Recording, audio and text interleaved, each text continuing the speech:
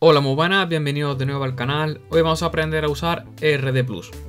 Pues bien, muchos ya sabréis por el anterior vídeo que es RD Plus. Y bueno, para los que no lo sepáis, simplemente RD Plus es una herramienta, ¿vale?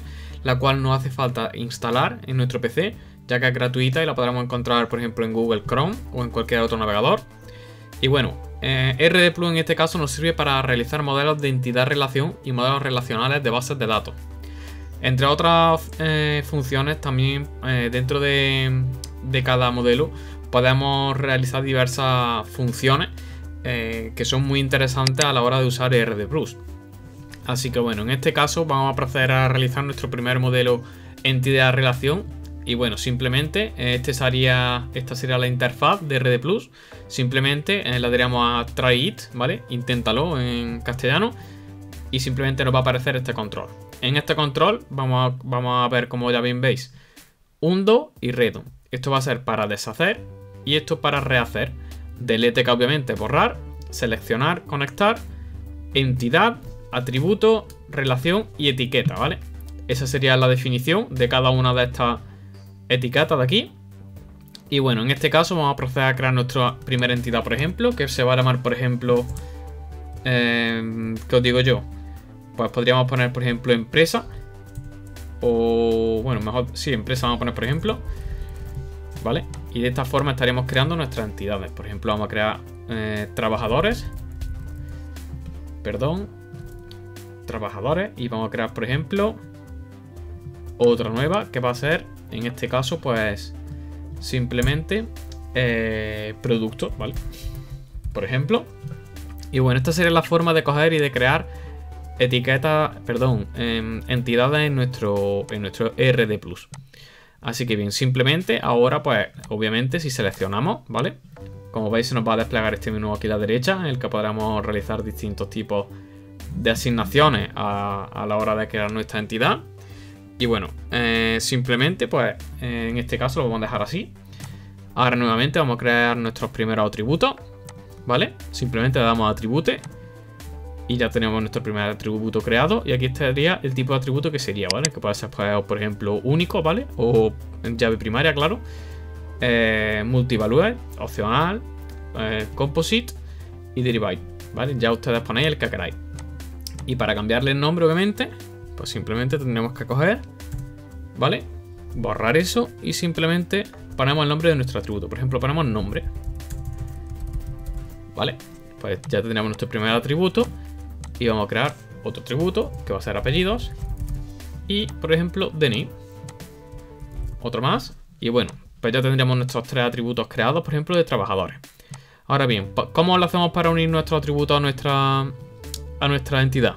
Pues muy sencillo, en este caso simplemente le damos a Connect, ¿vale? Conectamos nuestro atributo con nuestra entidad. Y ya como veis, pues simplemente se nos une a través de esta línea. Y así lo haríamos con todo, ¿vale? Así que vamos a proceder a hacerlo y ya tendríamos nuestros tres atributos. Pues bien, ahora simplemente, por ejemplo, imaginémonos que en este caso DNI es nuestra clave primaria. Pues le damos, por ejemplo, a unique y como veis, nos va a desplegar ese subrayado a DNI, lo que, le va a, lo que le va a indicar que va a ser la llave primaria de, en este caso, trabajadores. Ahora bien, por ejemplo, en este caso, imaginémonos que queremos conectar una entidad con otra, ¿vale? Para saber el tipo de relación. Pues hay dos opciones, ¿vale? Una sería esta, colocamos aquí nuestra relación ¿vale? Aquí nuevamente se nos va a desplegar un nuevo menú, ¿vale? Con el que podemos hacer diferentes opciones. Y bueno, en este caso, por ejemplo, podríamos cambiar el nombre. Podríamos poner trabajan, o sea, o pertenecen, porque los trabajadores pertenecen a una empresa en concreto. Y bueno, en este caso, pues simplemente, ¿vale? Esta sería una opción y luego conectamos. Conectamos nuestra relación con nuestra entidad. ¿Vale? Esta sería una opción. Ahora nuevamente vamos a darle a hundo, ¿vale? Como he dicho anteriormente, esto para deshacer. Y la, eh, forma en la que me gusta para coger y para poder eh, unirlos mediante una relación las entidades, pues sería simplemente dando la connect y conectar una entidad con otra y directamente se os va a realizar el proceso que hemos hecho anteriormente. Aquí como veis se nos muestra y simplemente se nos va a desplegar el mismo menú que antes, ¿vale? Pero simplemente de esta forma pues ahorraríamos tiempo. En este caso, pues como hemos puesto anteriormente, pertenecen, por ejemplo, o contiene, ¿vale? En caso de que la empresa, estamos mirándolo desde el punto de vista de la empresa.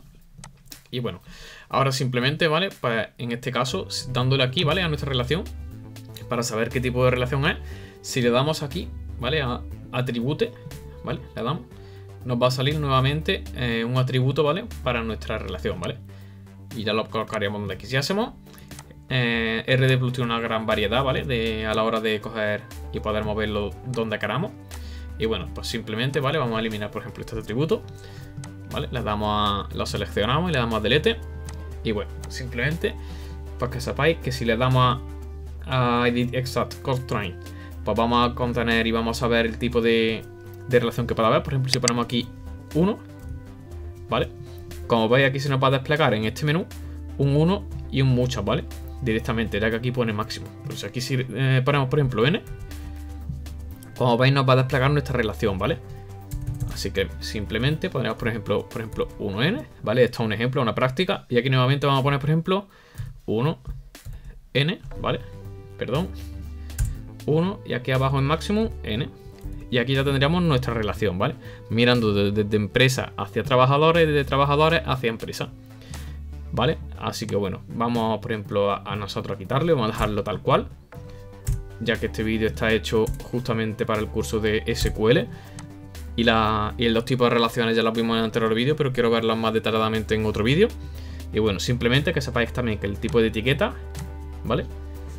Eh, simplemente pondríamos, por ejemplo, 0 o lo que quisiésemos, si ponemos 0, como veis seleccionamos aquí y se nos va a desplegar nuestra etiqueta. El único problema que yo le veo a esto, a RD Plus, porque para mí es un, excepcional eh, forma de desarrollar nuestros modelos de entidad de relación, es que si por ejemplo nosotros nuestra etiqueta la ponemos aquí, como veis nos va a cortar parte de nuestro rombo de nuestra relación, ¿vale? Eso solamente sería, bueno, en este caso el rombo, pero podría ser por ejemplo aquí, ¿vale? Nos va a cortar, pero bueno, simplemente un pequeño truco. Eh, nos vamos aquí al texto de nuestra etiqueta, ¿vale? Y lo podemos ir moviendo, ¿vale? Esto nos va a ayudar, ¿vale? Por si, por ejemplo, lo queremos poner aquí en esta esquina, ¿vale?